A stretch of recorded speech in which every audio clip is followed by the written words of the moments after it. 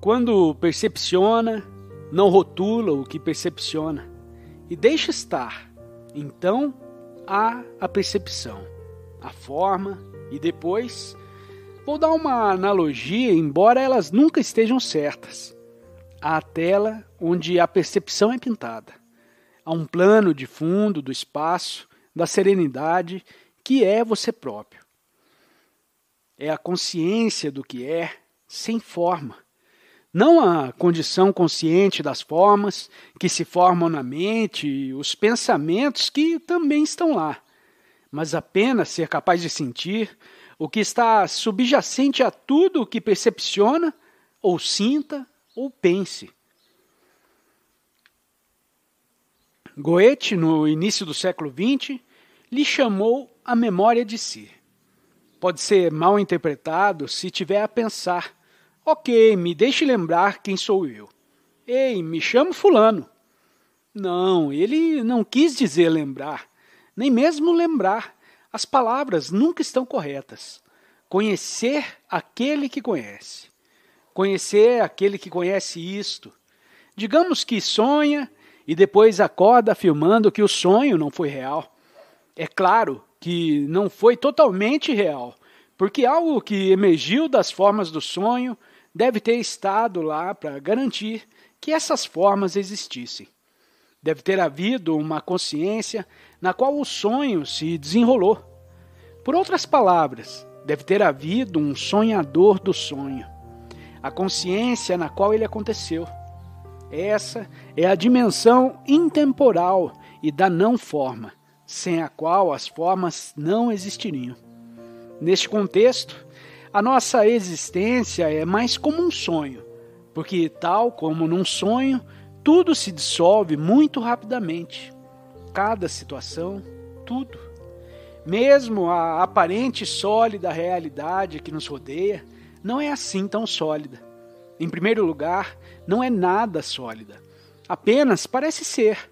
São apenas campos energéticos em movimento e não irá ficar nessa forma por muito tempo se puder observar mais profundamente, vê que tudo se está já a dissolver. É temporário, emerge na forma e dissolve-se. Os corpos que estão aqui sentados estão a se dissolver. Mesmo esta mesa, se olharmos daqui a 200 anos, poderá estar a mesma, mas se conseguíssemos acelerar, numa câmara de filmar o que acontecerá nesta sala num período de 3 mil anos, o que é muito pouco numa escala global, veria todos os aparentes objetos sólidos, tal como esta mesa, a desmoronar. Num minuto, veria tudo a ficar em pó e a desaparecer. Seria uma coisa chocante e libertadora, ao mesmo tempo poder ver um filme desses demonstrando o que realmente está a acontecer ao aparente sólido mundo que o rodeia. No fundo, é muito libertador verificar como todas as formas têm uma vida curta. O que é que em você vê isso? A natureza limitada do tempo em todas as formas? O que testemunha isso? É a presença, a serenidade que está ciente disso. Torna-se cada vez mais sereno à medida em que se vai percebendo do pouco tempo de vida que todas as formas têm, e não foge desse fato. É tão importante para si que você se mantém quieto ao enfrentar a morte na sua vida e que está em toda parte. A nossa civilização tenta continuamente esconder a morte. Não há morte. Nunca olhe para um cadáver, porque isso não se faz. Por isso, há pessoas que nunca viram um cadáver.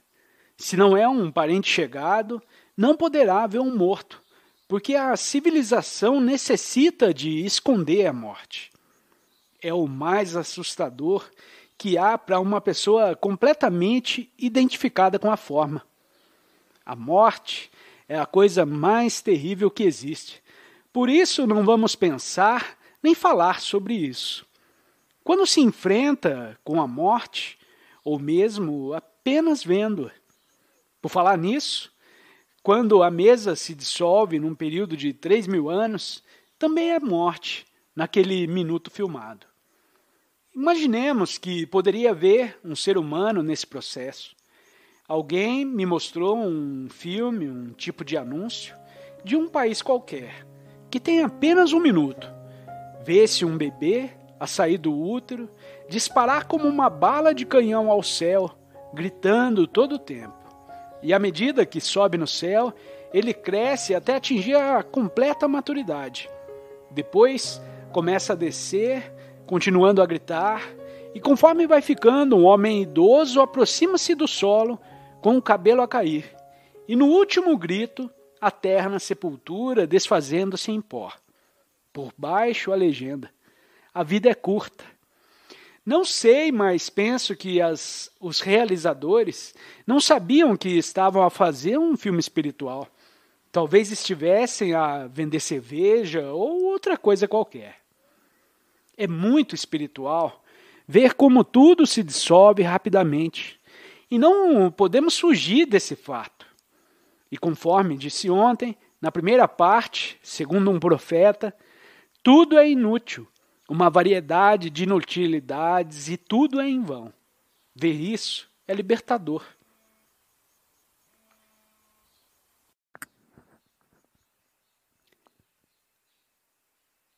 Se tudo fosse permanente, o que é o mesmo que dizer se todo mundo fosse azul, não haveria cor azul, porque não conseguiríamos diferenciá-la. Assim, se tudo fosse impermanente, não saberíamos sequer, porque só podemos saber se houver algo diferente.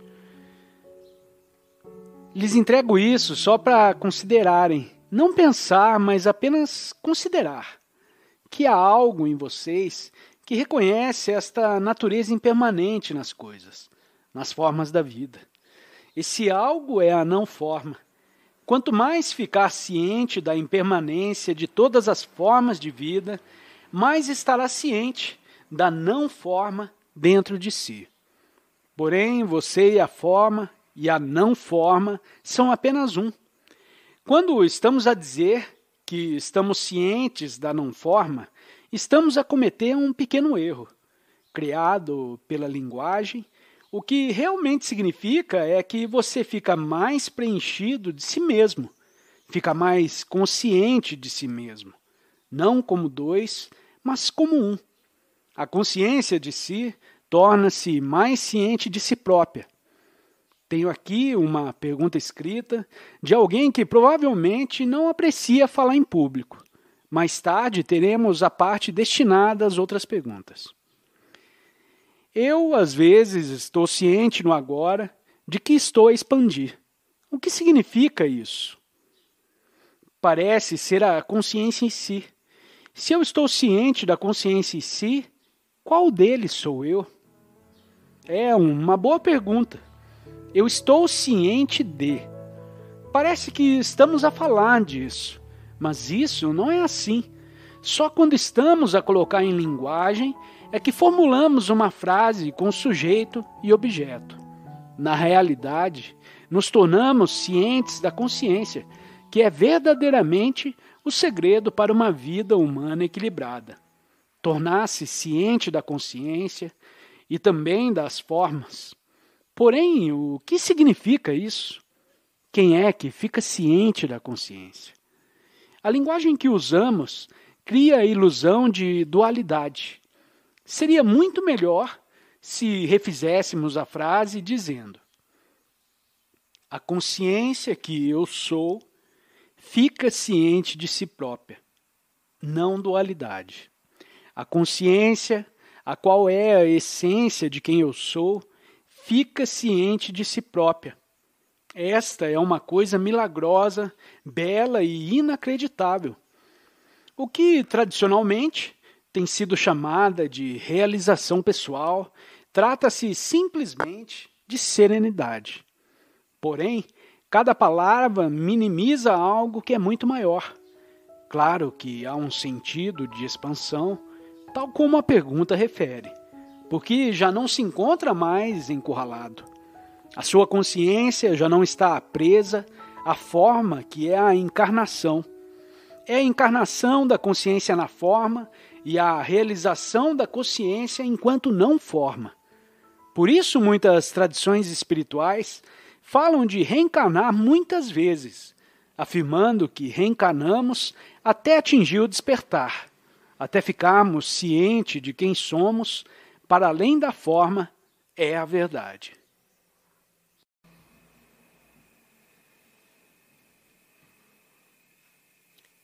Bom, meditação.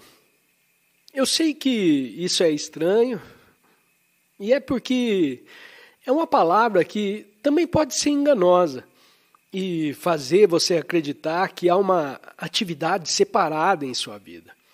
Uma atividade regular chamada meditação e o resto de sua vida. O que é apenas uma convenção. O que chamamos de meditação é mais do que apenas praticar. É um estado de consciência. Ou é uma questão de semântica, você poderia dizer que meditações ou práticas em direção a um estado de consciência e já se torna algo problemático. Porque o que é convencionalmente chamado meditação não é uma atividade, não é um fazer. Então você não pode fazer uma meditação excelente. A própria ideia que você está fazendo na meditação já é o obstáculo para figurar a meditação. E a verdadeira meditação é, em última análise, não tentar obter em algum lugar, mas já perceber que você já está lá. É a percepção de ser que é anterior a todo fazer e está sempre lá. Geralmente, para a maioria dos humanos, não é estranho perceber que você está agora e não são conceitos. Então, qualquer ideia que você tem em mente sobre quem você é, é falsa. Tornando-se consciente de que estou aqui agora, e esse é o surgimento da amplidão, da amplidão interior. E o estranho é que está lá sempre. Mas se você não está ciente disso, é como se não existisse. É como um estrangeiro que não conhece nada e fica pobre. Eu uso uma analogia em algum lugar no livro de um homem sentado em uma caixa, ou um mendigo sentado em uma caixa por anos, e ele nunca olhou dentro da caixa. E a caixa está cheia de ouro, mas ele não notou. Nós poderíamos ter uma outra analogia divertida e dizer que você é como a analogia transversal. Quando você usa uma analogia, usamos algo do mundo físico para apontar para algo que está além do universo físico. Então, falamos sobre Deus, porque é algo precioso no mundo físico, e é assim que funciona hoje em dia, ou você também pode dizer mesmo que você teste para o seu público, você não lê e você não sabe que tem uma conta bancária na Suíça, por exemplo. Ele tinha 100 milhões de dólares, ou você esqueceu o número da conta, ou está errando a senha. Mas é apenas uma analogia. Você está negligenciando algo que é incrivelmente valioso. E é interessante como qualquer coisa, nada no mundo físico, se compara a todas as analogias que usamos, essas coisas que Jesus usou, na pilha de grande valor e assim por diante. Novamente, coisas do mundo físico, de acordo com algo ou alguém, Apenas tornando-se consciente de si mesmo, não como alguém, como uma pessoa, mas tornando-se consciente de si mesmo. Então, alguém poderia dizer: então vocês dois são todos? Vocês sabem que eles são alguém, né? Mas não tantas pessoas ainda. Diriam aqueles que estão despertando.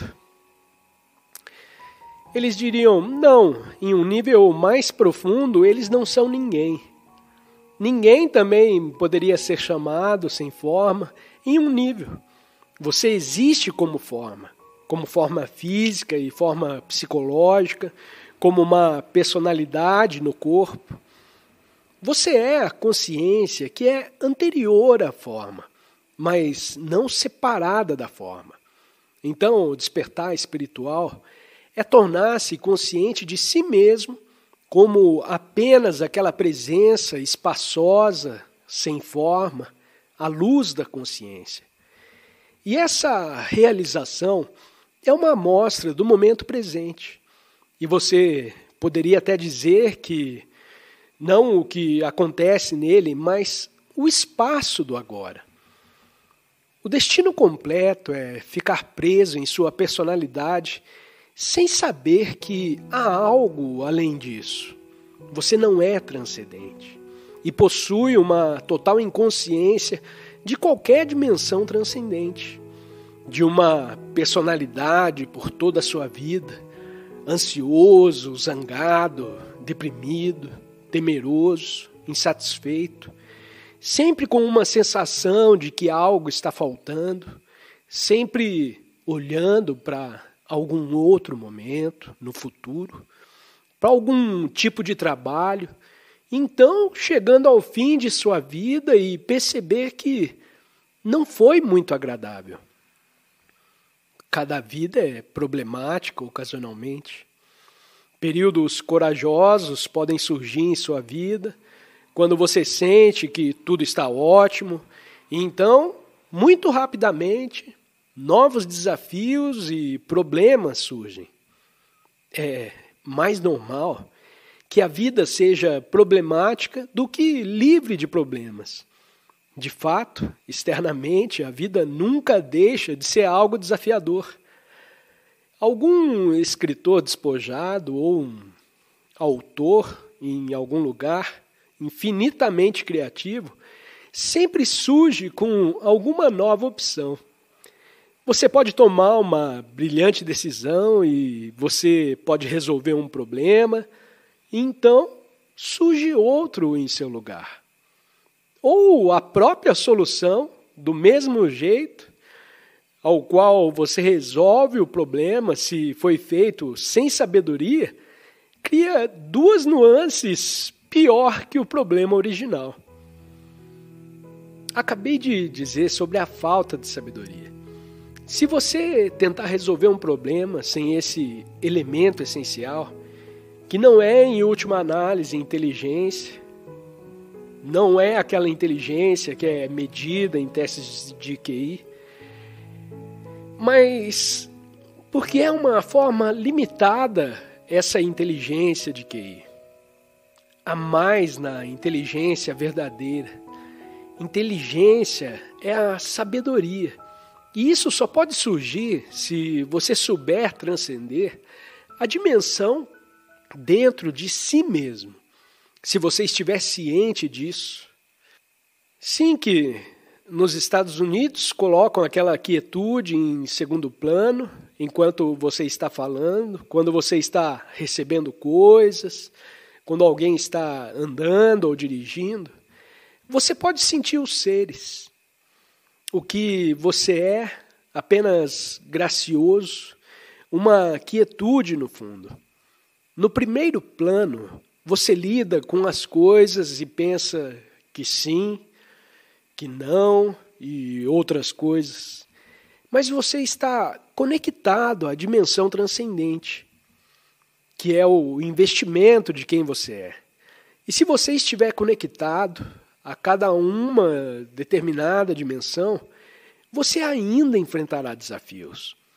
Mas a maneira como você precisa desses desafios é muito diferente da maneira como você os lida. Você não sabe lidar com eles. Pelo menos é muito diferente. Você sabe o que esses desafios fazem com você e cria mais problemas. Também quando você não tem o conhecimento dessa dimensão transcendente, você tende a ampliar os problemas por sua reação externa.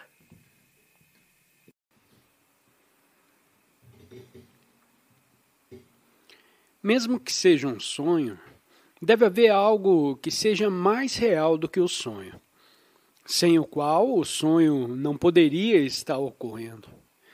Não poderia estar aqui. Nos concentramos em ser, porque a maioria dos humanos está sofrendo da terrível aflição que podemos chamar de esquecimento. Porque a esquecimento de ser estão perdidos no fazer, se perdem no fazer. Ou se não estão a fazer nada, talvez estejam a rondar as esquinas. Então estão perdidos na semiconsciência. Vão ter de se mover pensando coisas baixas, ou estamos presos em padrões mentais muito disfuncionais. E até mesmo o pensamento, que poderíamos até categorizar, pois também é um tipo de fazer esse fazer não é apenas atividades nas quais você está envolvido na vida diária, mas subjacente a esse fazer externo, ao fazer de pensar o pensamento. E está acontecendo. E é isso que pertence ao reino de fazer. Embora na maioria dos casos não seja. Quem faz pensando que você não está fazendo isso é um fazer. Mas realmente pensar é algo que acontece com a maioria das pessoas. Não é algo que eles fazem voluntariamente como uma escolha. Então você pensa, acontece. Com você, pode-se dizer então, às vezes, eu digo que você não acha que está sendo pensado, que está sendo criado pelo movimento involuntário e compulsivo do pensamento, que é algo condicionado pelo passado.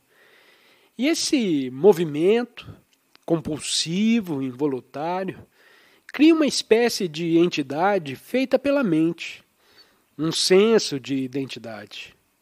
Nesta entidade, é o ego e, para a maioria das pessoas, é quem eles percebem ser. E assim você vive com essa entidade, você é. Existe uma boa analogia que pode ser utilizada, que é você como a consciência mais profunda que está dormindo e você está sonhando o sonho da sua vida. Ocasionalmente você pode acordar brevemente e então cair de volta no estado de sonho, que é o drama que está acontecendo em sua vida. Quaisquer situações que estejam acontecendo em sua vida. Então há uma personalidade, uma pessoa, que é um sonho, como uma entidade do ponto de vista da consciência desperta. Você pode ver claramente que, quando retrospectivamente, talvez ao despertar, você olha para trás em sua vida e pode ver quantas coisas inconscientes aconteceram nas quais você esteve envolvido, nas quais você participou e assim por diante. Todo um drama se desenrolando às vezes, não tão ruim, e outras vezes realmente terrível. E o tipo de pesadelo, em alguns casos, se você voltar em todas as tradições, seja na filosofia ocidental ou nas tradições espirituais orientais, Muitas vezes há a comparação da existência não desperta com um sonho. Muitos filósofos ocidentais também questionaram, e essa é a vida como um sonho, como a famosa peça do dramaturgo espanhol Calderón de la Barca. É quando sua vida é um sonho. Essa é uma peça antiga. Então, até que ponto você está identificado com você como pessoa? Você ainda pode estar preso no sonho. É possível que enquanto você se senta aqui ou onde quer que sente, fique de pé ou deite ou ser desperto, está emergindo parcialmente ou totalmente. Então há um você. Pode ser um híbrido entre o sonho e a entidade sonhada, e aquele que está realizando o sonho, que é a consciência. Você provavelmente já ouviu falar de sonho lúcido.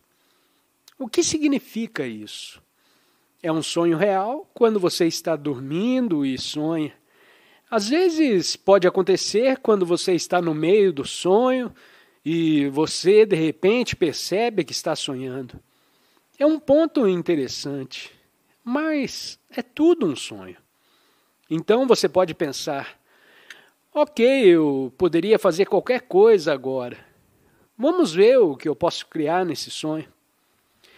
Na maioria dos casos, isso não dura muito, porque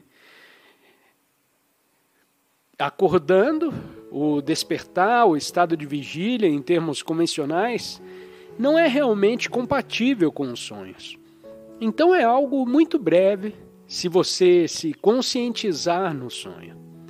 É mais provável que, muito rapidamente, você acorde do sonho. Então ele se foi, e então você acorda em uma vigília normal, que é outro, espiritualmente falando, outro tipo de sonho.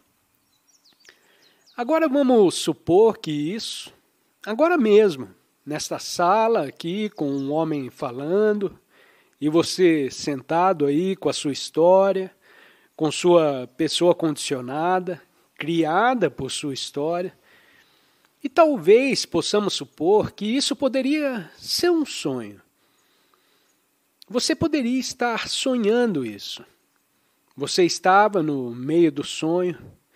Você está sonhando com um homem que diz que você pode estar sonhando. Oh, que incrível!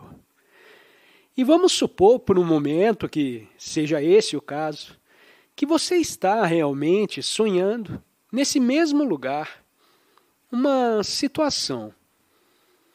Tudo é sua parte do seu sonho. Não sei que pode ser o caso, depende de como você olha de uma certa perspectiva ou de outra perspectiva. Mas vamos supor que seja por um momento. Mesmo que seja um sonho, deve haver algo que é mais real do que o sonho, sem o qual o sonho não poderia estar ocorrendo. Esse pré-requisito é claro que Deve haver uma consciência na qual o sonho acontece. Então torna-se de importância secundária se você está sonhando. Se você está sonhando nesse momento ou não, deve haver uma essência dentro desse sonho que é real.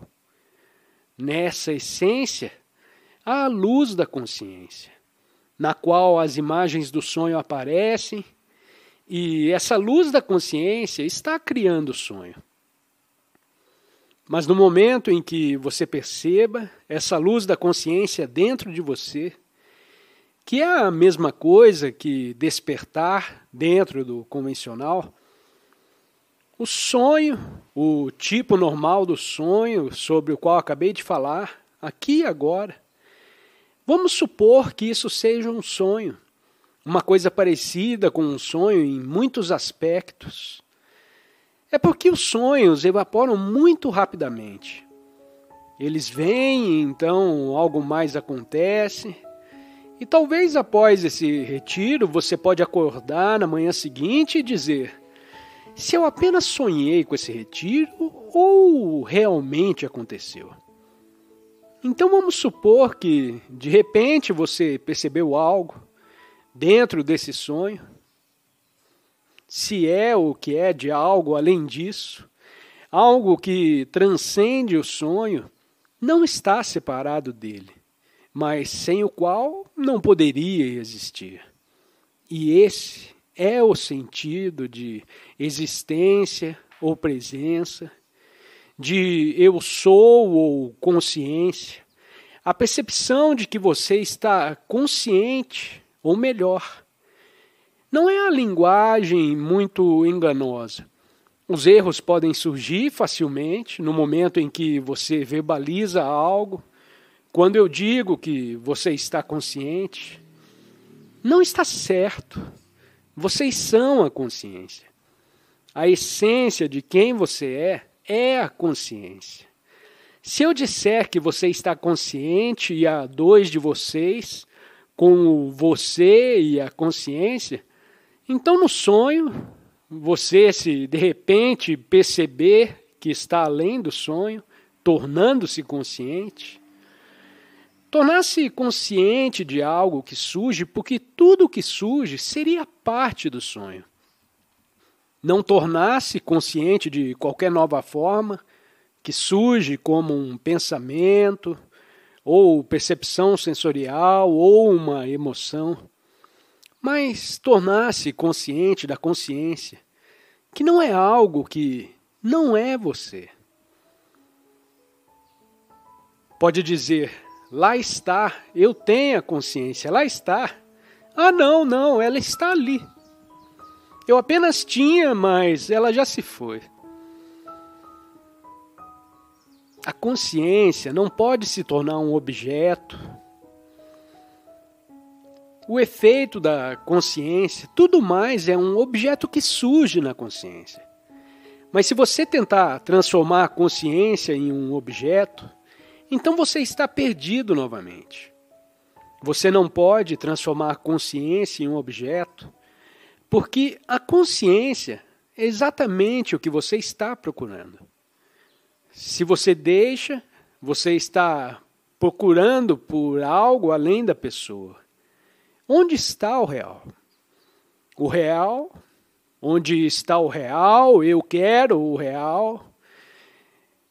Eu quero ir atrás do passado que eu estou procurando. Se você está procurando, esperando por uma experiência em que essa coisa vai acontecer, isso seria muito enganoso, porque você estaria procurando por alguma experiência, como fogos de artifício, de artifícios espirituais, ou a visão final como você vê em algumas pinturas antigas de místicos cristãos. E você não pode ter isso por tanto tempo. Quero dizer, a visão está lá, como vai durar muito. Então, se você está procurando por si mesmo no reino da experiência, ou no reino da manifestação, fenômenos, objeto da consciência, você não pode encontrá-lo lá. Porque a mesma coisa ou nada que está procurando por você é você. É como uma lanterna. Você usa uma lanterna para encontrar a lanterna. Você está procurando a lanterna que é você.